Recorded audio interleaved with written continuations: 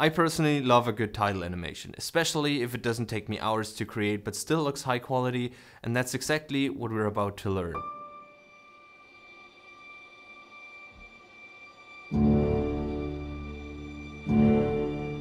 Now first of all we want to go to the top left of our screen to where it says effects, go down to titles and then just grab the text plus title and drag it onto your timeline just like so. Then you want to give the title a click, go to the top right hand side of your screen to where it says inspector and in the title part you can do all the customization whether this is wording, font, color, size and tracking until you're happy with. So once you're happy with the result, in the inspector where it says text plus right next to that is the Fusion Magic Wand and that's where you want to click to bring your title up in the Fusion page. Now first of all we want to animate our letters individually and we're going to do that by using the follower modifier. So go to the inspector in the top right hand side of your screen, right click in this text field, go to follower which will make us accessible to the modifiers tab. And in here is where all the magic of the animation will happen. First of all, go down to where it says order change that from automatic to random but one by one because we want to animate our letters individually but not one after one after one. Instead we want to have that in a more random order. Then we want to set the delay to two frames. So by doing that the delay of the animation from the letter that is currently being animated to the next letter is two frames. Then we want to go over to the shading tab and this is where all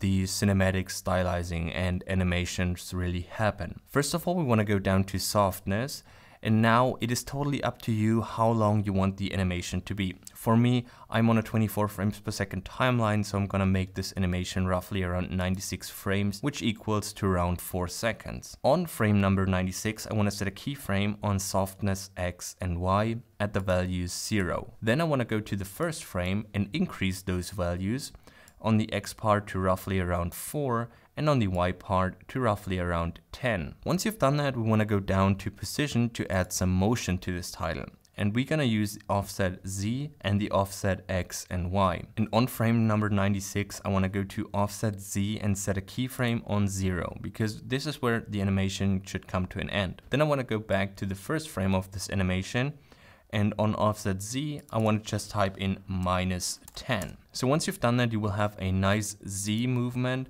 so that the letters fly into frame. And at first it is a little bit choppy because it hasn't cached yet, but that shouldn't be a problem for now. Then again, I want to go back to frame number 96 and on offset X and Y, I want to set another keyframe, which then will open up the path modifier. And once you've done that, you can see a small green rectangle in the bottom left hand side of your viewer, which is the path. Then we want to scroll out just a little bit, go to frame zero, grab this green rectangle and just drag it up so the letters, when they come in, have more of a top-down movement. Once we've done that, we're pretty much finished. All we have to do is ease the animation. All we have to do is open up our spline window if it's not already open.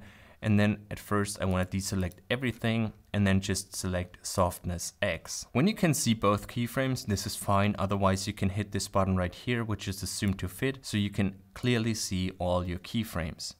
Select both keyframes, hit S on our keyboard to smoothen them out and just repeat this step for all of the other keyframes that we've done. And to top this off, we will add a nice glow to our title so we really get that cinematic vibe. So what you want to do is select template, hit shift spacebar on your keyboard and type in glow and just add the glow node. And if we go down to the end, you can see that it has a nice glow. If that's too subtle for you, you can still go to the inspector in the top right corner, increase the glow size and increase the glow overall, something like that, so you have a more glowy effect. But now before we move on to the second title animation, let me take a quick second to tell you about the sponsor of today's video, which is none other than Envato Elements. And if you haven't heard about Envato Elements yet, they are the platform for all content creators, freelancers, and editors. With their huge library of over 12 million assets ranging from stock photos, stock videos, music, sound effects, DaVinci Resolve templates, overlays, title animations, just like the ones you see in this video, help you to create better work faster. And all of that efficiently combined into one single subscription for just $16.50 a month. And if that sounds interesting to you and you want to create better work faster, be sure to check out the link in the description and also secure your 7-day free trial. And many thanks to you Envato for sponsoring this video. But now let's get back to the second title animation. And the first few steps are identical to the title that we've previously created. First of all, select your template and do all the customization that you want to do within the inspector in the top right corner.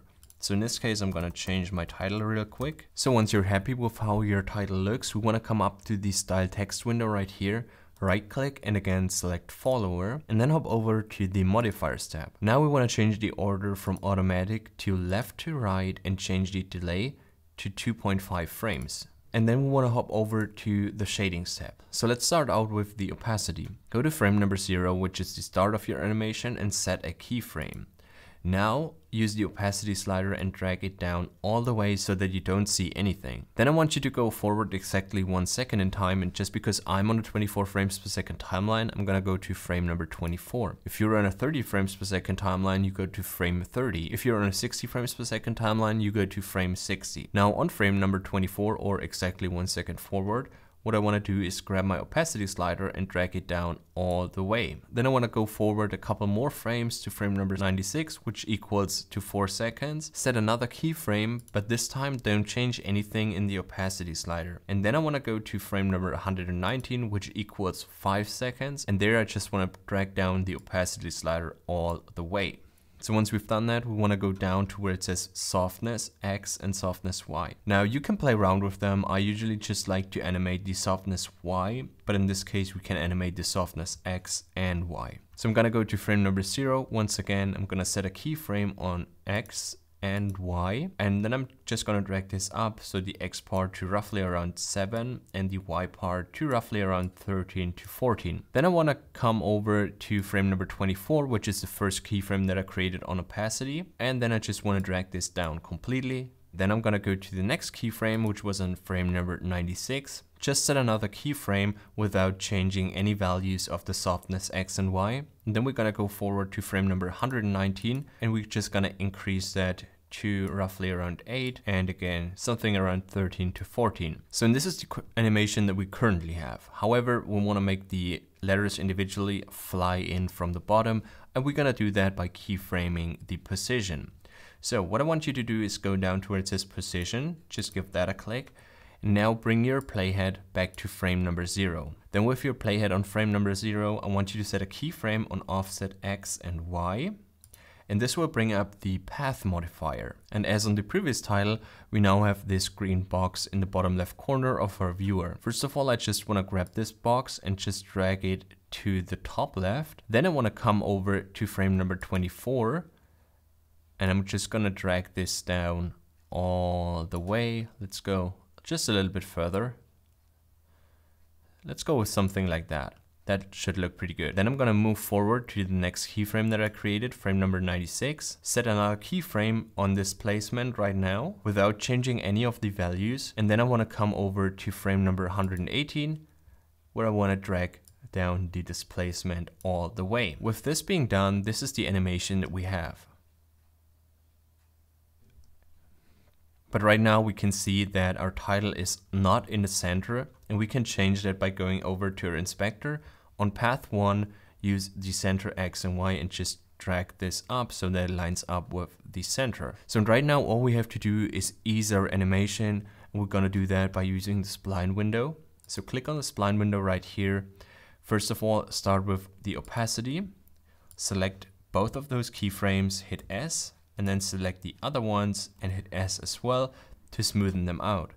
Then just uncheck opacity 1, select softness X, again highlight both keyframes, hit S, highlight the next both and hit S once again. Then uncheck softness X and check softness Y and just repeat this process. But the offset, I just want to animate just a little bit differently. So I'm going to select my offset. I'm going to hit the zoom to fit button so I can clearly see those keyframes highlight the first two keyframes, right click on this line when it changes color, then go to ease and select out cubic, which makes them come in really fast and then just ease out. And then I want to highlight the second keyframes right here, again right click and then go to ease and choose out cubic once again. And this is the animation that we currently have. If you want your title to come in from the bottom, you can change that by going to frame zero and then just zoom out by holding the control key and using my mouse wheel. Then I'm gonna use this one, just bring it down, something like that. And then I'm gonna use this one and just bring it up. Perfect. And now the animation should come in from the bottom. But right now we have to, again, change our center values so that it lines up. Perfect.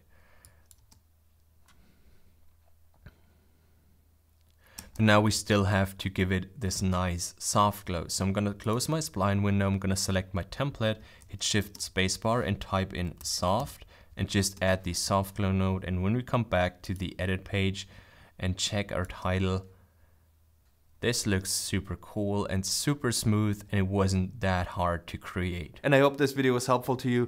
If so, please consider leaving a like and maybe even a comment. That would be super cool, but otherwise, hope you're having a great day. See you next time. Bye.